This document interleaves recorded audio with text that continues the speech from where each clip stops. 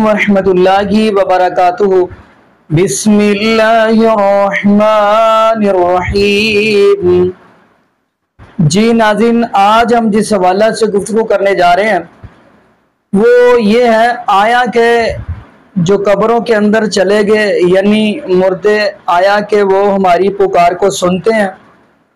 जब बंदा जाकर कहता है अस्सलाम वालेकुम अहलदियार मिनल वल मुस्लिमीन। खैर ये जब दुआ पढ़ता है या अस्सलाम वालेकुम या अहल कबूर पढ़ता है क्या वो हमारी पुकारों को सुनते हैं और वो जवाब भी देते हैं? इसी वाला से नाजी पहले तो हम आपको चंद उलमा कराम की वीडियो दिखाते हैं फिर इंशाल्लाह नाजी इसी वाला से हम भी गुफ्तु करेंगे। तो आगे नाजरी मिलके वीडियो देखते हैं। जब हम कबर पे जाते हैं फातिया पढ़ते हैं दुरू शरीफ वगैरह जो कुछ भी पढ़ते हैं तो मुर्दा महसूस करता है सुनता है। ठीक है और? ठीक है और तीसरा।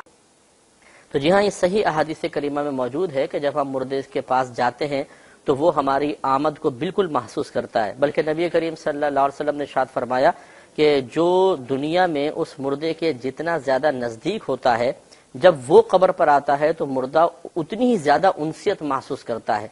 जैसे करीबी दोस्त हैं घर वाले हैं, बच्चे हैं, उसके औलाद है, अगर वो आते हैं तो उसे बहुत ज़्यादा खुशी होती है।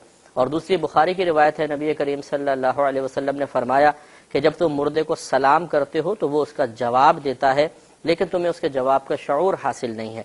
तो मालूम हुआ कि मुर्दा बाकायदा सुनता है, और ख़ुद नबी करीम वसल्लम की आदत करीमा रही कि जब आप कब्रिस्तान तशरीफ़ ले जाते तो यूँ फरमाते थे असलकुम या अहल कबूर, ए कब्र वालो तुम पर सलामती नाजिल हो। तो यकीनी सी बात है कि नबी करीम का उन सबको सलाम करना यह साबित करता है कि वो सुनते भी हैं। अगर ना सुनते हो तो ना सुनने वाले को सलाम करना यह खिलाफ हिकमत कहलाएगा। जैसे आपके वालिद साहब सो रहे हो और आप करीब जाके कहें बजान असलम तो घर वाले यकीन कहेंगे कि पागल हो गए और बजान तो सो रहे हैं, वो तो सुन नहीं रहे, तुम सलाम कर रहे हो।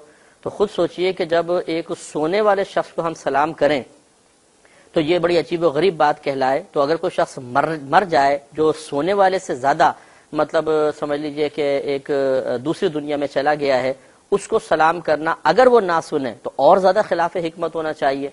लेकिन नबी करीम सल्लल्लाहु अलैहि वसल्लम ने जब सलाम किया तो ये साबित हुआ कि ना सिर्फ़ सामने जो कब्र मौजूद है वो, बल्कि तमाम मुर्दे सुनते हैं। क्योंकि जमा का लफ्ज सरकार ने इस्तेमाल फरमाया सल्लल्लाहु अलैहि वसल्लम कि अस्सलाम या अहलल कबूर। कब्र वाहिद कबूर जमा है।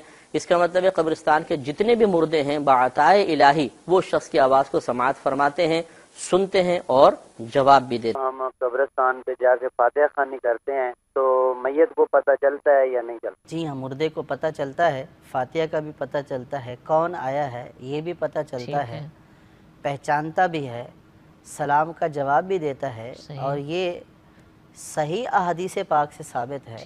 है। सही मुस्लिम की हदीस पाक में है कि सरकार सल्लल्लाहु अलैहि वसल्लम ने जब किसी जो है वो मैत की तदफीन की और वापस जाने लगे लोग तो सरकार सल्लल्लाहु अलैहि वसल्लम ने फरमाया कि ये मुर्दा तुम्हारे नालैन की यानी चप्पलों की आवाज़ों को भी सुन रहा है। हदीस पाक में सरकार सल्लल्लाहु अलैहि वसल्लम ने इरशाद फरमाया कि जब तुम में से कोई शख्स किसी मुर्दे के पास से गुजरता है ऐसे मुर्दे के पास से गुजरता है कि जिसको वो जानता है और उसको सलाम करता है तो वो मुर्दा उसको सलाम का जवाब भी देता है और उसको पहचानता भी है पहचानता कि मुझे फला ने सलाम किया अगर जानने वाले की कब्र से गुजरता है और अगर ना जानने वाले की कब्र से गुजरता है और उसको सलाम करता है तो वो मुर्दा इसके सलाम का जवाब देता है। बल्कि हदीस पाक में आया हज़रत फ़ारूक आदम रज़ी अल्लाह तु इस हदीस पाक के रावी हैं। गजवा बदर में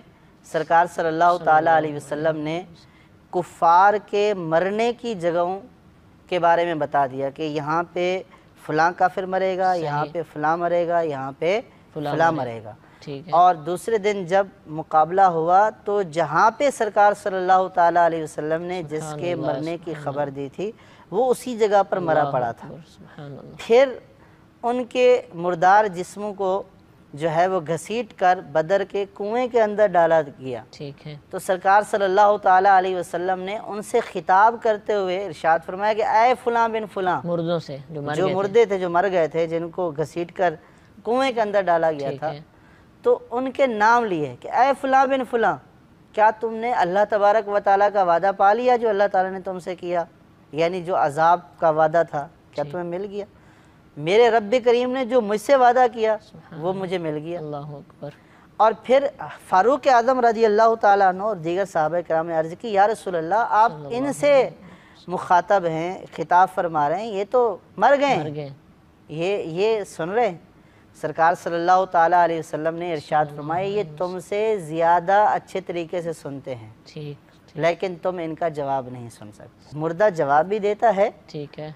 ले, लेकिन ये जवाब इंसान नहीं सुन इंसान नहीं सुनता। इसके अलावा सारी मखलूक सुनती अच्छा है। इंसानों के अलावा दीगर मखलूक दीगर मखलूक सुनती है। मुर्दे सुनते हैं नहीं सुनते अल्लाह चाहे तो सुनते हैं अल्लाह चाहे तो नहीं सुनते। नहीं आप नहीं सुनवा सकते ना अल्लाह चाहे तो सुनवा सकते हैं। आखिर हम जो सलाम कहते हैं अस्सलाम वालेकुम यादार कौम मोमिनीन अगर उनको ये सलाम नहीं पहुँचता तो फ़ायदा कहने का, कोई आखिर देखें ना, आखिर कोई कोई हिकमत तो है ना। हमें ये हुक्म तो नहीं मिला कि पहाड़ों पर गुजरो तो कहो अस्सलाम वालेकुम, या जिबाल। लेकिन मुर्दों पे गुजरो तो हुक्म है कि सलाम कहो। अस्सलाम वालेकुम यादार कौम मुमिनीन इन्ना लाहिकून अंतुम अस्साबिकून नहनु असल इतनी लंबी जोड़ी बात कहने की ज़रूरत क्या है इसलिए अहादीस में ये भी आता है कि मुर्दा जो है अपने दफन करने वालों के चलने फिरने की आवाज़ें भी सुन रहा हो यस मौकर अनियाल बुखारी शरीफ के अंदर ये रिवायत मौजूद है लेकिन इस मसलू में झगड़ा न किया जो नहीं मानते कोई बात नहीं हैं हम पर इल्ज़ाम लगाते हैं कि ये लोग इन लोगों का अकीदा है कि मुर्दे सुनते हैं, लिहाजा ये लोग मुर्दों को ज़िंदा मानते हैं और ये शिरक फैला रहे हैं। तो पहली बात तो मेरा ये अकीदा नहीं है कि मुर्दे सुनते हैं। आई बात समझ में? और ये देवबंद का भी मुतफ़न अकीदा नहीं है। मौलाना शीम है गंगोही रहमा ताला, हज़रत मौलाना सरफराज खान सफदर साहब, जो कितने बड़े आलिम अभी माजी करीब में उनका इंतकाल हुआ, इन सब की तहकीक है। और इस पर मैं हवाले दूँगा तो बात लंबी होगी। इनकी तहकीक ये है कि जहाँ नस से किसी मुर्दे का सुनना साबित है, वहाँ तो हम सुनने के कायल हैं। उमूमी तौर पर हम मुर्दों के सुनने के कायल नहीं। ये भी एक इल्ज़ाम खाम हमें खाते में डाला हुआ कि ये मुर्दों के सुनने के कायल हैं। और फिर उस पर तंज, भाई है ही नहीं तो कहाँ से हो? इन्ना का लातुस्मिउल मौता। कुरान कह रहे हैं, नबी, आप मुर्दों को नहीं सुना सकते। वला तुस्मिउ सुम्म दुआ। बहरों को सुना नहीं सकते। और अंधों को रास्ता दिखा नहीं सकते। वला तहदिल उमिया। मेरा ये नज़रिया है, मेरे शेख हज़रत मुफ्ती रशीद अहमद साहब रहमा का, उनके बहुत सारे शागिर्दों का नज़रिया है कि मैयत नहीं सुनती है। इल्ला ये कि अल्लाह अपनी मर्ज़ी से किसी को अगर सुना दे तो अल्लाह पर तो कोई पाबंदी नहीं लगा सकता ना। आप कबर पे गए, कोई बात की आपने और अल्लाह ने मुर्दे को सुना दी तो ठीक है। लेकिन उमूमी कायदा क्या है कि मैयत नहीं सुनती। लेकिन बाज हजरात इसके कायल हैं कि मुर्दे सुनते हैं। हम उनको भी काफिर और गुमराह नहीं समझते। क्योंकि वो ये नहीं कहते कि मुर्दे खुद सुनते हैं। वो कहते हैं, मुर्दों की तो कान नहीं बचा सुनेगा कहाँ से? वो कहते हैं, अल्लाह अपनी ताकत और कुदरत से मुर्दों को सुना देता है। तो ये अल्लाह की ताकत की दलील है, मुर्दे की ताकत की दलील नहीं है। तो इसमें शिरक नहीं है। हाँ ये आप कह सकते हैं कि दलाइल की दुनिया में किसका नज़रिया ताकतवर, किसका नज़रिया कमज़ोर। तो मेरी राय यह है कि दलाइल की दुनिया में उनका नज़रिया ज़्यादा मज़बूत है जो सुनने के कायल नहीं है। लेकिन इसमें बाज उलमा दूसरी तरफ़ गए हैं, वो कहते हैं, नहीं, ये नज़रिया ज़्यादा मज़बूत है कि सुनते हैं। ठीक है, उनकी राय, मेरी राय है कि नहीं सुनते। आ रही है, नहीं तो पुलिस आ रही है फिर। समझ में नहीं आ रही है तो फिर पुलिस आ रही है। तो मैं अल मुहन्नद अल मुफन्नत की बात कर रहा था, ये दो नजरियात मुहन्नद अल मुफन्नत में ऐसे जिन पर ये लोग बहुत कीचड़ उछाल। ये समय मोता में ज़रा कंसेप्ट क्लियर करें ना कि क्या कंसेप्ट है ये, कि मतलब ज़िंदा भी हैं, सुनते भी हैं, लेकिन कभी नहीं भी सुनते। जी स्माय बोता के ऊपर मेरा मसला नंबर एक हयातो नबी मसला नंबर फाइव मसला नंबर 117 बी अजाब कबर के ऊपर रिकॉर्डेड मौजूद है 117 ए और बी। उसमें मैंने बताया कि सही बुखारी में मौजूद है कि मुर्दे को जब दफना के जाते हैं उसकी कब्रों, उसके कदमों की चाप भी सुनता है। जहाँ जहाँ किताबो सुन्नत में साबित है, वहाँ वहाँ मानते हैं, मुतलकन सुनना कहीं पे साबित नहीं है। जहाँ जहाँ, अगर कोई कहता है कि ये मुतलकन सुनते हैं तो मैं फकी दूँ शाह जी इनको के जब आपके बुजुर्ग सोए होते हैं उनके पास कोई बात करें अगर सुन जाते मनु आके पढ़ लियो ਜਿਹੜਾ ਵੱਡੇ ਤੋਂ ਵੱਡਾ ਵਲੀ ਹੈ ਔਰ ਉਹਦੀ ਰਿਕਾਰਡਿੰਗ ਕਰ ਦਿਓ ਜੀਓ ਤੇ ਫਿਰ ਚਲਵਾਵਾਂਗੇ ਅਸੀਂ YouTube ਤੇ ਚਲਾਓ ਕਿ ਇਹ ਦੇਖੋ ਜੀ ਇਹ ਬਜ਼ੁਰਗ ਨੂੰ ਸੌਂਦਿਆ ਹੋਇਆ ਸਾਰਿਆਂ ਨੂੰ ਬੁਲਾ ਲਵੋ ਐਸੀ ਉਹਦੇ ਕੋਲ ਗੱਲਾਂ ਕੀਤੀਆਂ ਸਨ ਉਹਨੇ ਉੱਠ ਕੇ ਉਹੀ ਦੱਸਤੀਆਂ ਨਾ मैं फिर वही गल करूंगा शाह जी कि मैं अपनी मशीन डिजाइन का फार्मूला लिख के बुजुर्गों को देता हूं ये दिल के हाथ जानते हैं ना देख के पढ़ के सुना दें मशीन डिजाइन का फार्मूला और वैसे किताब भी खरीद लैनगे वैसे मैं कहना जी मशीन डिज़ाइन नहीं जी मैकेनिक्स ऑफ़ मटीरियल्स और दूसरी किताब खरीदो जाके। चलो लोगों की बिक्री तो कराइए। सी बात लगती है ना कॉमन बंदे को वो ये लगती है कि या तो ये कहा जाए जी के मुर्दे नौजबिल मर के मिट्टी हो गया उनको सुनाई नहीं देता। या ये कहा जाए जी हर चीज़ सुनते हैं नहीं मर के मिट्टी नहीं हुए मैं तो कब्रें खोद के देख ले। कब्र कांदियों से पूछे मैं छोटा सा था तो कब्रिस्तान ये था। हज़ारों लोग दफनाए गए। मैंने कब्र कादियों के इंटरव्यू किए कि यार ये कब्रें इतनी जगह नहीं होती। वो कहते जी पुरानी कब्र होती खोद रहे हैं मैं कहा जी फिर कहते हड्डियाँ निकलती साइड तक ला के नवी कब्र बना देते हैं नहीं फिर आप ये समय मोता के कायल फिर कैसे हैं समय मोता जो है ना वो ये समय मोता के हम कोई कायल नहीं है हम ये कहते हैं जो सूर्य सूर्य फातिर में है कि तुम मुर्दों को नहीं सुना सकते अल्लाह ताला जिसे चाहता है सुना देता है मैंने मसला नंबर 117 बी में ये सारी आयात कवर की है जब मुर्दे को दफना के जाया जाता है ना कब्र में दाखिल करने से पहले भी सुन लेता है वो मेरा क्लिप चढ़ा यूट्यूब पे, क्या मुर्दे भी सुनते और देखते हैं? उसमें मैंने बताया कि जब मैयत को सही बुखारी में आता है, मैयत को जनाजे को जब चरपाई पे रखा जाता है तो मैयत बोलती है जिन्नो इसके अलावा हर मखलूक सुनती है, क्योंकि ये मुकल्लिफ है, ये नहीं सुना तो बंदे पुत्र बन जाए। गैप का पर्दा ही हट जाए। जिन्नो इसके अलावा हर मखलूक सुनती है, अगर वो नेक मैयत है तो कहती मुझे जल्दी जल्दी ले जाओ, मेरे अंजाम की तरफ़। अच्छा अंजाम आने वाला है, और जो बुरी मैयत है, वो कहती मुझे कहाँ लेके जा रहे हो? तो मुर्दा बोलता भी है, लेकिन जहाँ जहाँ साबित है, मुतरकन सुनना बोलना साबित नहीं है। जब दफनाते हैं तो वो उसकी हसरत में इजाफा होता है, जो बुखारी, मुस्लिम में हदीस है कि इंसान के तीन दोस्त हैं। दो जो है, वो वापस आ जाते हैं, एक साथ जाता है, उसके रिश्तेदार और माल वापस आ जाता है, और उसके अमाल उसके साथ कब्र में जाते हैं। उसको मुर्दे को कदमों की चाप सुनाई जाती है, ताकि उसको ये पता चल जाए कि जी, मैं इन पे तकिया करता था ये मुझे छोड़ के उसकी हसरत में इजाफा। और अगर नेक है तो क्या मैंने इन पे तभी तकिया की नहीं मैं अपने माल साथ लेके आया लेकिन मुर्दों को हम सलाम तो करते हैं ना कब्रिस्तान जाकर जी करते हैं। तो उसमें कहा है कि मुर्दे खुद सुनते हैं? उसमें आप देखें अस्सलाम वालेकुम अहल दियार मिनल मुमिनीन वल मुस्लिमीन। व इन्ना इंशाअल्लाह बिकुम ललाहिकून। नसअलुल्लाह लना व लकुम आफिया।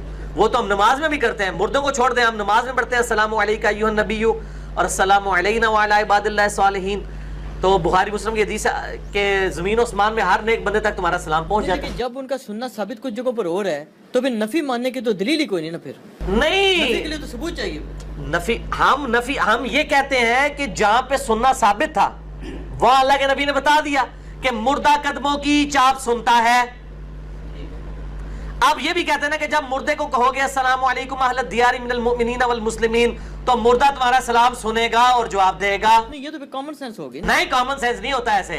अगर इस तरीके से क्रॉलरीज बनानी शुरू कर दें कॉमन सेंस के साथ कॉमन सेंस के साथ क्रॉलरीज बनाना शुरू करें तो मैं फिर वही बात करूँगा कि हज़रत आदम इस्लाम को फरिश्तों ने सजदा किया हम नबी इस्लाम को सजदा नहीं कर सकते। इस तरीके से तो नफी आ गई।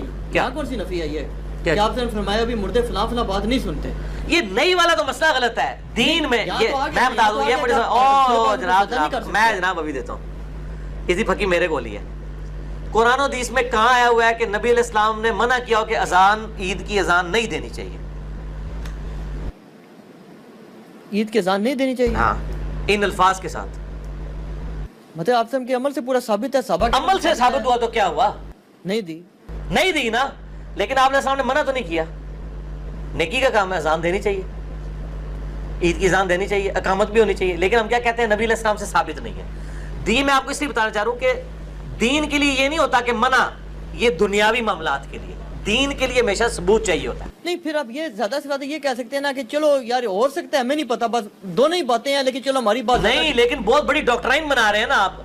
फिर आगे वो इबन तैमिया इससे भी आगे इसी इकतदास रात मुस्तकीम में वो इससे आगे चला गया ना कि मुर्दे पे अमाल भी पेश होते हैं, ये भी होते हैं। हम कहते हैं, इतना बड़ा कीदा है मनु चाह दो अल्लाह के बंदे हो। ठीक है?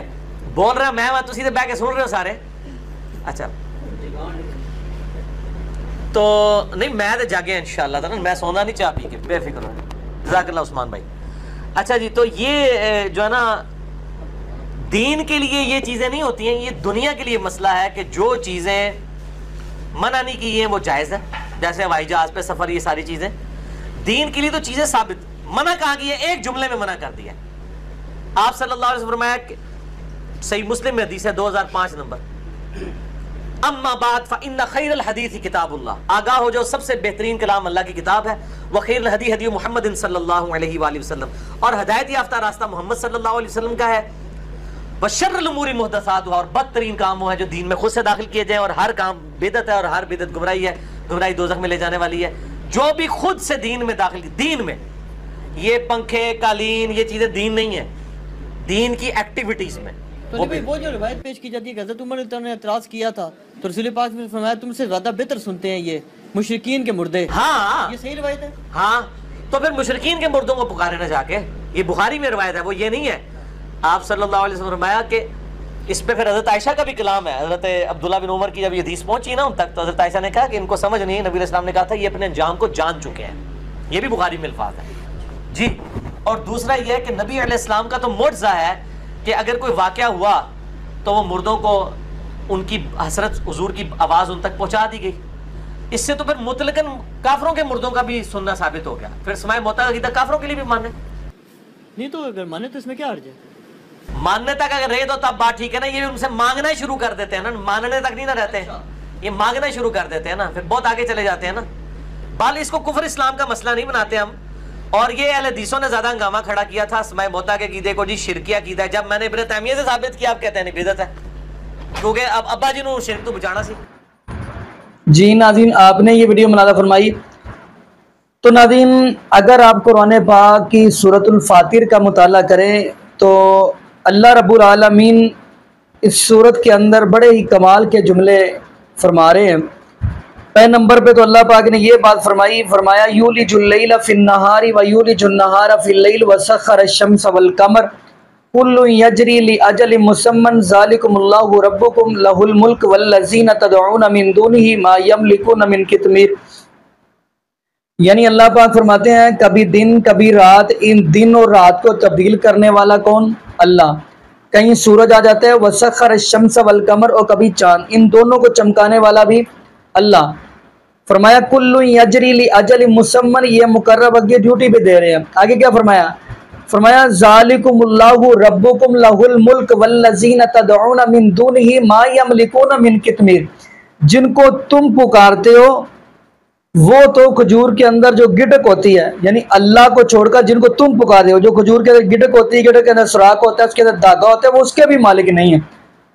तो नादीन अब देखा जाए कि मुआशरे के अंदर कब्रों को पूजा जा रहा है। खैर, मैं अगली आज पढ़ता जाऊँ थोड़ा सा आगे चलते हैं कहीं अल्लाह पाक फरमा रहे हैं, फरमाया, वलजिल्लु वलहरूर क्या मतलब? धूप और छा बराबर नहीं हो सकते। कहीं फरमाया वलजुलमात वलनूर यानी अंधेरा और रोशनी बराबर नहीं हो सकते। कहीं ये फरमाया इन अल्लाह युसमी मैशा यहाँ पे अल्लाह पाक अपने महबूब इस्लाम से ये बात कह रहे हैं। इन अल्लाह युसमी मैशा सूरतुल फातिर है। वमा अन तभी मुस्मी मनफिल कबूर ए मेरे महबूब इस्लाम अगर आप कब्रों वालों को सुनाना चाहें तो नहीं सुना सकते, नहीं सुना सकते जब तक मैं रब ना चाहूँ।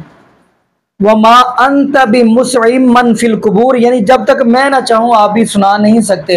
तो रहेगी नादी, ये दुआ जाके बंदा कहता है दियार, या अस्सलाम वालेकुम या कबूर, इसका मतलब उसके ऊपर हम सलामती कर रहे हैं। तो दूसरी बात ये कह रहे हैं कि हम भी अन करीब आपके पास आने वाले हैं। तो हम तो उनको जाके ये दुआ देते हैं कि तेरे ऊपर अल्लाह की सलामती हो। तो बाकी नाजरीन, ये दुआ करें, अल्लाह पाक हमें नबी पाक वसल्लम की शरीयत के मुताबिक ज़िंदगी गुजारने की फिक दे और ये भी दुआ करें, अल्लाह पाक हमें पाँच वक्त का पक्का और सच्चा नमाजी बना दे और जितने भी बे औलाद जोड़े हैं, अल्लाह पाक सबको नेक नुरीना, सेहत तंदरुस्ती वाली, ईमान वाली, लंबी ज़िंदगी वाली औलाद आ फरमा दे जजाकमल्ला असलकम वरहमल वर्का